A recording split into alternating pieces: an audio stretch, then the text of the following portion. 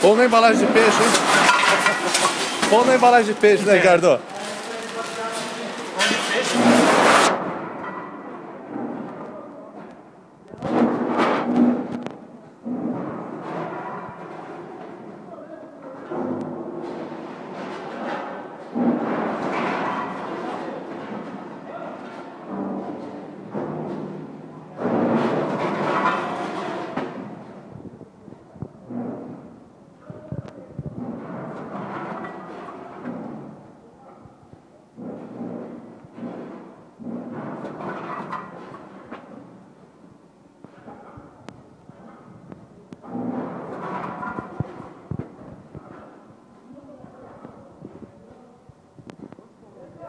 Lord